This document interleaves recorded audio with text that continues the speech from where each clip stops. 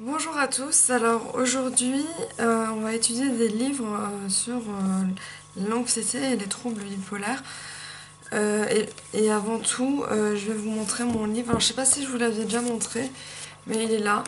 Un ami l'a commandé, il est trop cher pour que je puisse l'acheter moi-même.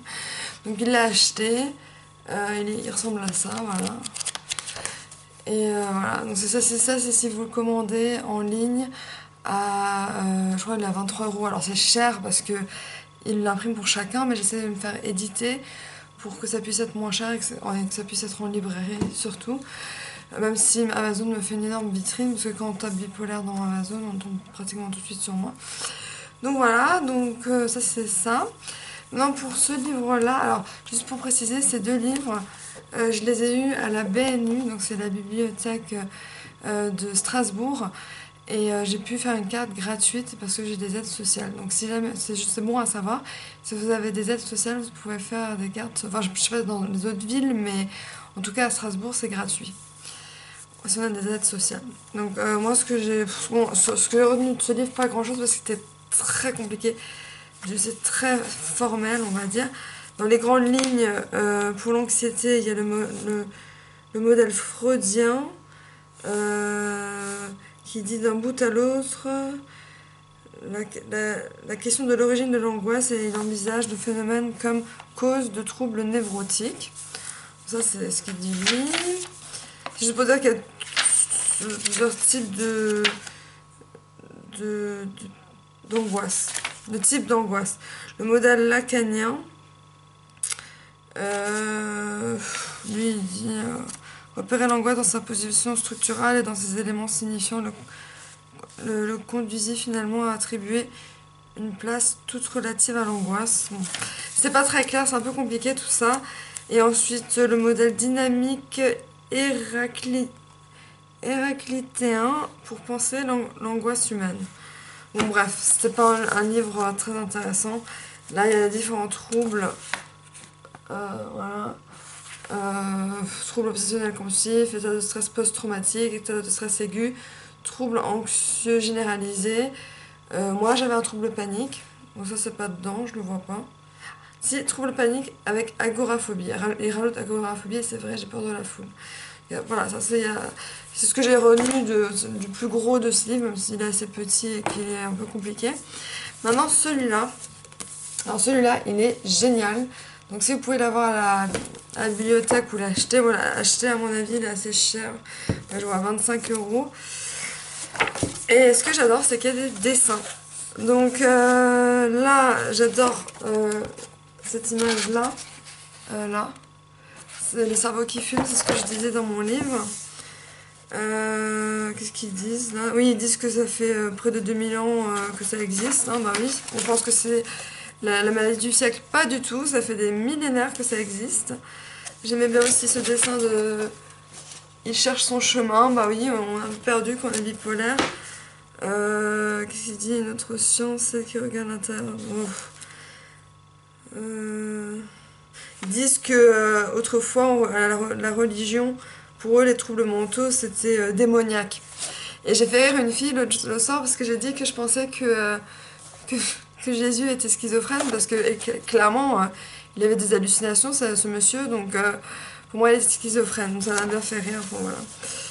Euh, et autrefois, bah, on ne connaissait pas les maladies mentales, donc si on disait, il disait qu'il voyait je sais pas quoi, bah, du coup, les gens le croyaient. Bon, après, c'est ma perception, hein, mais bon. ça, c'est un, un, dessin de, l'hypomanie, la manie. Vous voyez? Différentes euh, phases, etc. J'ai super bien euh, ce bouquin, franchement. J'ai pris les meilleurs euh, trucs. alors là, ils mettent les, facteurs qui mènent au trouble bipolaire. Enfin, il y a une sorte de schéma, bon, voilà. il y a plein de pages que j'ai aimées. Là, c'était le cerveau. Là, c'est pour montrer qu'en fait, c'est, comment ça s'appelle? L'amygdale. L'amygdale, c'est les émotions. Et chez le bipolaire, c'est ça qui euh, joue tout le temps. Tout le temps. Là, c'est le cortex frontal, il n'y a pas de lien entre les deux. Chez les gens normaux, euh, là, l'amygdale, il y a les émotions. ça va vers le cortex frontal, la personne se dit Ah, je raisonne, j'achète pas ça ou je fais pas ça. Et après, voilà. Et chez les bipolaires, bah, ça serait un peu. Enfin, comme j'ai compris, hein, moi je le dis vraiment euh, de manière euh, brute, mais il y a que de, on est que dans l'émotion, l'émotion, l'émotion, l'émotion. Donc voilà. Et je vraiment, il est vraiment super ce bouquin, les, les, dessins et tout. Là, il parle des lignes de l'humeur. Donc là, il y a un épisode maniaque isolé qui est rare. Plusieurs épisodes de manie, soit un trouble unipolaire maniaque est rare. Un trouble bipolaire de type 1, c'est euh, des phases maniaques et, et dépressives. Un trouble bipolaire type 2, des, phases hypomaniaques et dépressives. Des cycles rapides 4 épisodes en 12 mois. Alors ça, je crois que ça, c'est moi. Euh, la cyclotimie, c'est quand ça dans tous les sens. je vous montre le dessin après. Et les épisodes mixtes, c'est quand on peut être dépressif et... et euh... J'ai tout eu, hein. Dépressif et maniaque en même temps. Je vous montre le dessin. Euh... Là, c'est, euh, voilà, les, phases hypomaniaques, maniaques. Ça, c'est mix. On a les deux en même temps. Ça, c'est la cyclotimie, ça me fait trop rire, le dessin, il est trop drôle. Ça. Tu peux être, en, une journée, tu peux être euh, énervé, heureux, joyeux, euh, triste, enfin... Moi, je crois que je suis ça, moi, je, je crois que je suis cyclotimique, euh, épisode mixte, cycle rapide... Enfin, de toute façon, je l'avais dit dans mon livre, ça, hein, sans avoir vu ça en plus. là, c'est parce que j'ai adoré ce dessin. Blablabla, bla, bla, ça c'est quand on est, quand on est maniaque, on n'a pas de parler. Qu'est-ce que j'ai fait d'autre? Euh, L'hygiène du sommeil, très important, ils en parlent. Euh, si, vous, si, il suffit d'une fois que vous dormez pas un soir et ça peut vous lancer en manie. Donc vous faites très attention au sommeil. Là, le dessin aussi, pareil, j'adore. Euh, c'est du bordel dans la tête. Pareil, les dessins. J'adore les dessins, ça, c'est vraiment très très très très bien euh, dessiné. Quand on est maniaque, on a 10 000 idées dans la tête. Euh... Ou là, ouais. Ou là aussi. Euh... Euh, alors là, évaluez votre humeur. Ça, c'est ce qu'on fait en psychoéducation. Donc, si vous avez de la psychoéducation, renseignez-vous auprès de, de l'hôpital psychiatrique ou, je sais pas, même de la mairie, je sais pas, s'il existe euh, des cours de psychoéducation. Moi, je vais en refaire. Là, il y a un autre thème, là, c'est le thème de l'hygiène et du, de l'activité physique, en sachant que euh, l'activité physique, ça peut être juste marcher ou faire le ménage, c'est ce qu'elle m'a dit au téléphone. Parce que quand on est dépressif, on a du mal à faire euh, beaucoup de choses. Donc juste rien que marcher, c'est bien. parce que moi, je lui dis que elle me demandait, vous aimez le sport? Je dis non, pas du tout. J'ai même pensé avoir un coach sportif, mais c'est trop cher. Euh, et puis, euh, qu'est-ce qu'elle a dit Est-ce qu'on mange C'est important aussi quand on... donc là, euh, en psychoéducation, ce qu'on fait justement, c'est ça. C'est évaluer votre... Tous les, à chaque séance, on nous demande, vous êtes de, de, de, de, 0 à 10, de où vous vous placez plutôt très très triste, moyennement triste, très heureux, très très heureux. Voilà.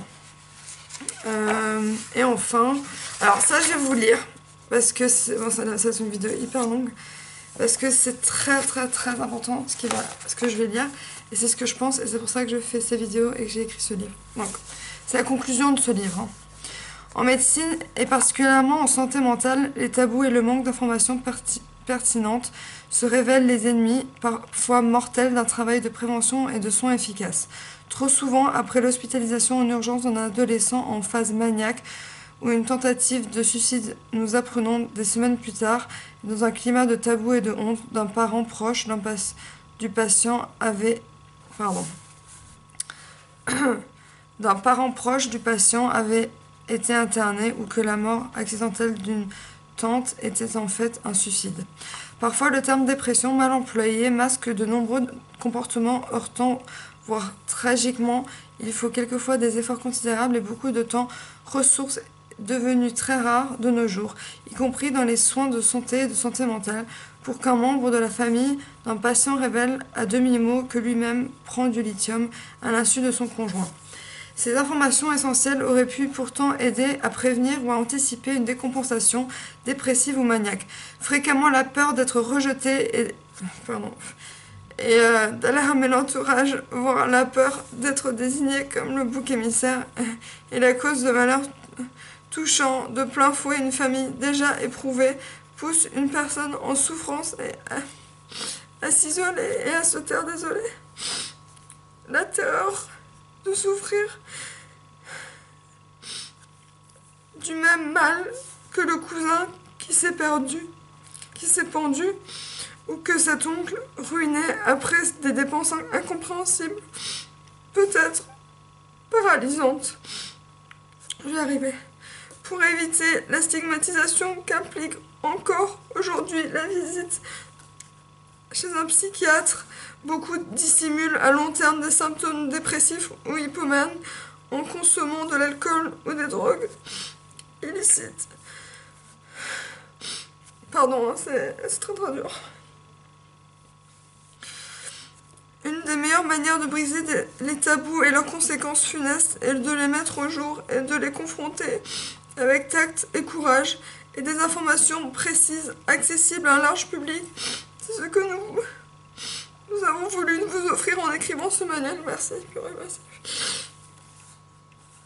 Cette information offre en outre à la personne en souffrance et à son entourage deux des ingrédients essentiels à la prise en charge de tout de troubles psychiatriques et psychologiques, la fin d'un isolement mort, mortifière et la capacité à espérer. Notre désir est que le manuel du bipolaire soit un de, ces outils essentiels dans la prise en charge et l'accompagnement des patients souffrant de ce trouble de leur famille.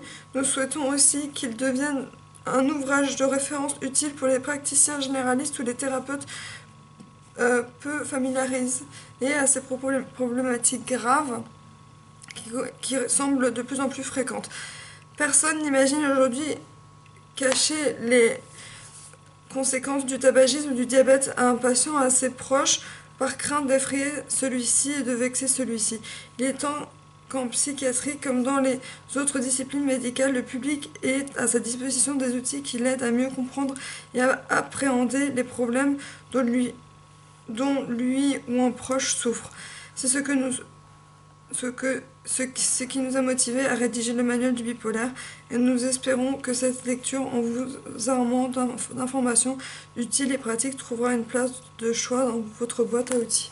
Effectivement, là, c'est euh, très très dur parce que c'est tout ce, qui, tout ce que je viens de dire, c'est pourquoi c'est pour ce quoi je me bats. Des, stigmatisations, euh, des regards, des, des critiques, euh,